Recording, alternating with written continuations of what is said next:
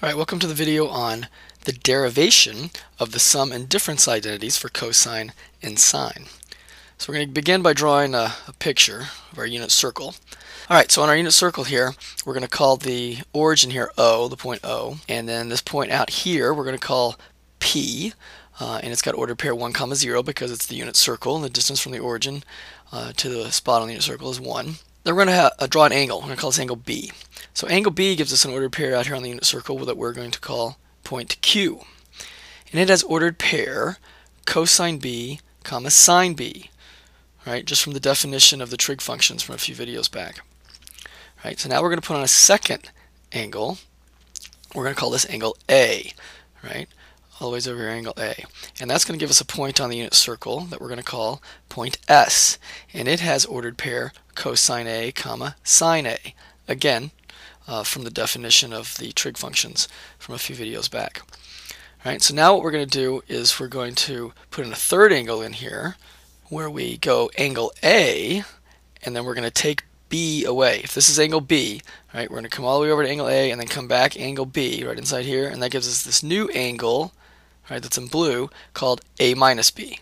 No, it's not perfectly to scale, but you, you get the idea. All this is angle A, then subtract off whatever B was, and that leaves you this new angle here in the blue line, and we're going to call that angle A minus B. That will give you a point on the unit circle that we're going to call R. And it has an ordered pair cosine A minus B, comma, sine of A minus B. This blue right here angle is angle A minus B.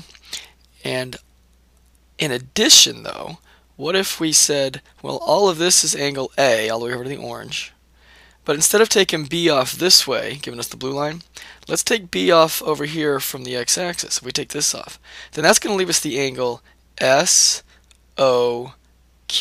Everybody see that right there? That angle right there. What's that angle? If you start with A, all the way over here to orange is A, you know, from the green line all the way over to A, and then you take off this B right here, then that leaves you this new angle, which brilliantly enough is going to be called what? It's also A minus B. So the blue angle is A minus B, and the angle between the red line and the orange line is also A minus B. They're the same angle. Okay, that's important uh, to realize. All right, so how does that play into it? Well, since we're on the unit circle here, these points that we have can make um, what are called chords.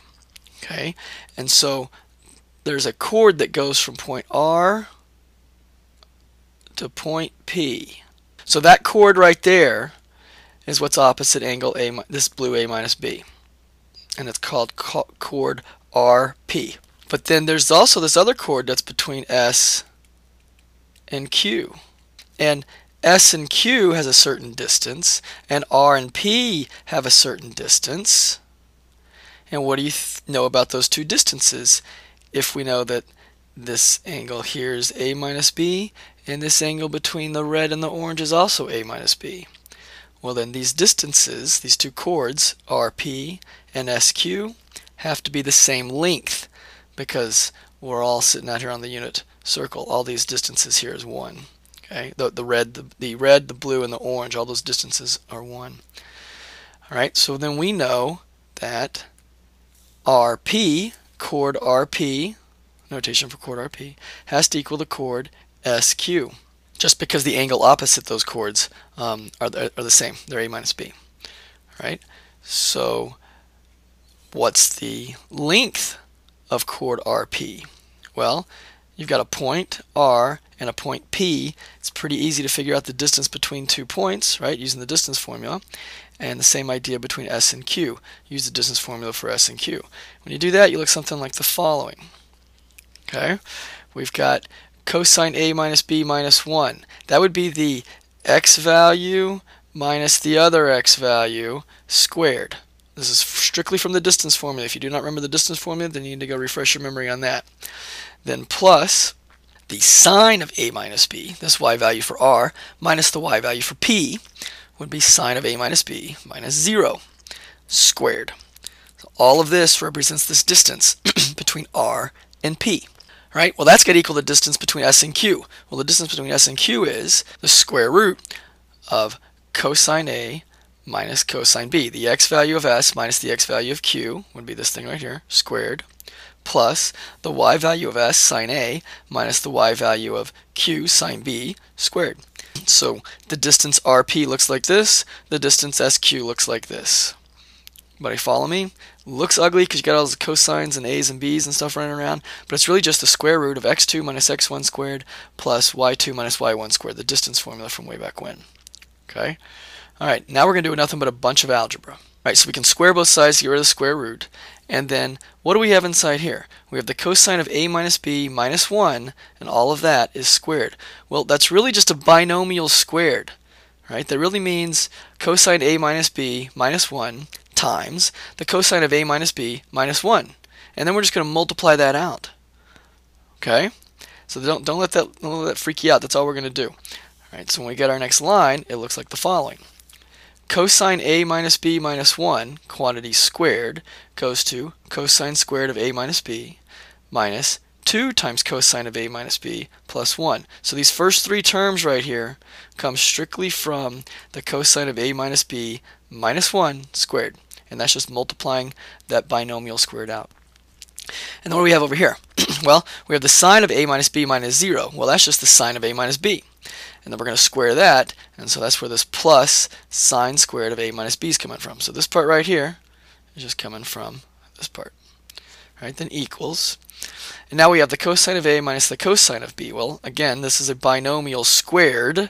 So write this as cosine a minus cosine b times cosine a minus cosine b, right? And then just multiply it out. When you do that, you get cosine squared a minus 2 cosine a cosine b plus cosine squared b. Right, and do the same thing with this last binomial squared, sine a minus sine b squared.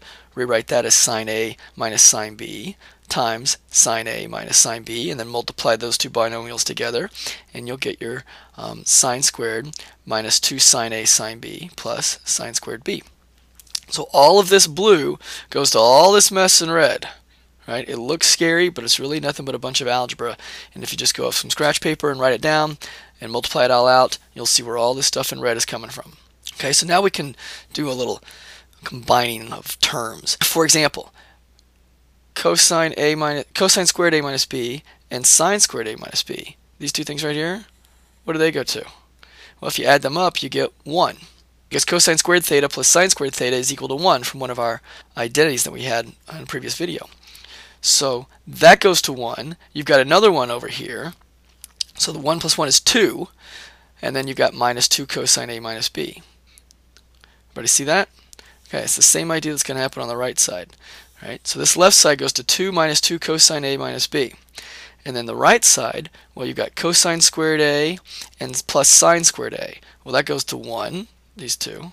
And then you've also got cosine squared b plus sine squared b. Those also go to 1. So 1 plus 1 gives you 2. That's where this 2 is coming from. And then you've got minus 2 cosine a cosine b, and then minus 2 sine a sine b left over. Right, so we can subtract 2 from both sides, and then we can divide both sides by negative 2 to give us the following. Cosine A minus B equals cosine A cosine B plus the sine A sine B. This is our identity for the cosine of A minus B. So now we know this is true, we can use it. So for example, we know that cosine a plus b is equal to the cosine of a minus negative b, because a plus b is the same thing as a minus negative b.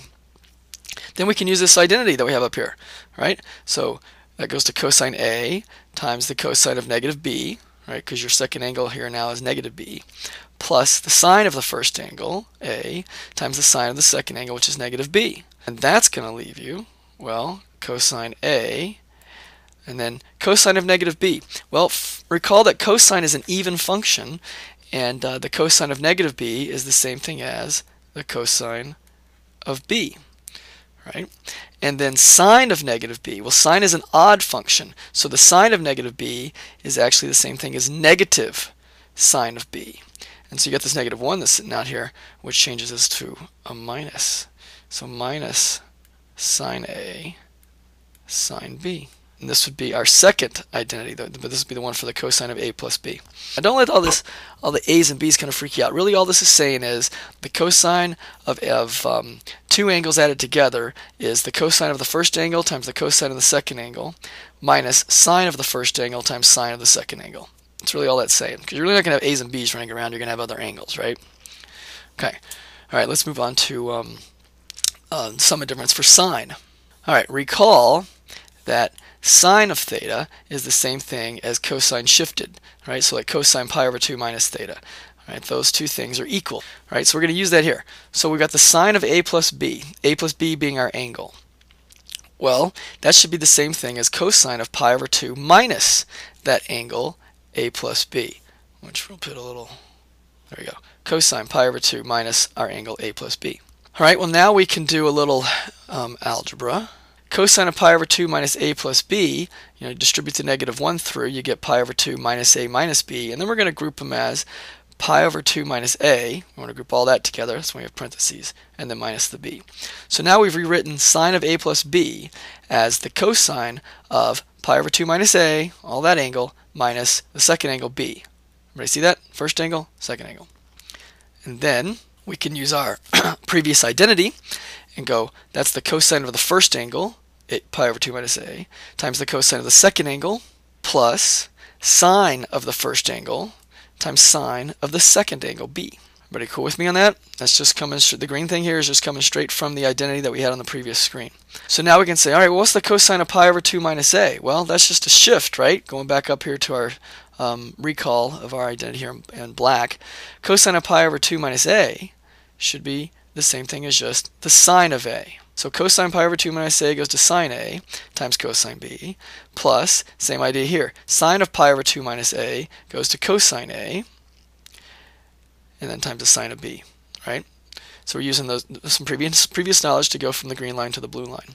But this is our third identity. This is the sum of two angles for sine. The sine of two angles added together is the same thing as the sine of the first angle times the cosine of the second angle plus cosine of the first angle times sine of the second angle, right? And now that we have this identity, we can do the difference one. Sine of a minus b is the same thing as the sine of a plus negative b. And now we can use this identity right above it and say, all right, that means the sine of the first angle times cosine of the second angle, second angle being negative b, plus cosine of the first angle a times sine of the second angle negative b. And then we use the fact that cosine is an even function. So cosine of negative b is the same thing as cosine b. So sine a cosine b. And then sine of negative b is an odd function. So that's going to go to negative the sine of b. And we're just going to change this positive here into a negative because there will be a negative 1. right? So that goes to minus cosine a sine b. So the sine of the difference of two angles is the sine of the first angle times the cosine of the second angle minus cosine of the first angle times sine of the second angle. Right? So let's summarize. All right, so the sum of difference identities. The cosine of the sum of two angles right, goes to the cosine of the first angle times cosine of the second angle minus sine of the first angle times the sine of the second angle. All right, and then sine of um, uh, the sum of two angles you get the sine cosine plus cosine sine. Right, so everybody kind of notice here, we've got, we've got a couple things to uh, keep in mind. Cosine of the sum, or the cosine of the difference, but they both go cosine, cosine, sine, sine. Follow me? Cosine, cosine, sine, sine. Whereas sine, right, the two sine identities go sine, cosine, cosine, sine. They alternate. So that's one way that might, can help you keep them straight as opposed to what identity goes with what. So you can remember the identities. Another thing we notice is that sine of a plus b and the sine of a minus b, th there are two signs, whether it's a, an addition or a subtraction, they carry over into the identity right? You got a plus here for this for the uh, sum, and we've got a minus here for the difference of two angles. But for the cosine ones, they're the opposite. So if it's the cosine of a plus b, then you're going to be doing a subtraction between the two um, parts. And if it's um, cosine of a minus b, then we're going to be doing an addition between the two parts. Right? So you got to find some way to keep those in mind um, so we uh, don't mess up the sign, which is obviously easy to do. All right, so those are the four um, identities. Uh, from there, we could get two more, the tangent ones. From these four up here, you can derive 5 and 6. I'm going to leave that as an exercise for you guys to figure out. All right, so that's it for the derivation of the sum of difference identities. Make sure you see uh, the video um, where you have several examples on using them. All right, that's it. Study well. Please let me know if you have any questions.